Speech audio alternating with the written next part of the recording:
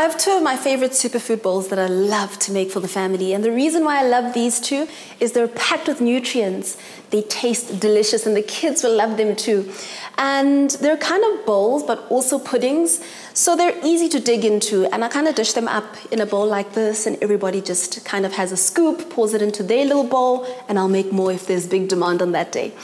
So one is a spinach one, one is an avo one. I love the greens in the family. Keeps the immunity up, keeps the nutrients inside the bodies.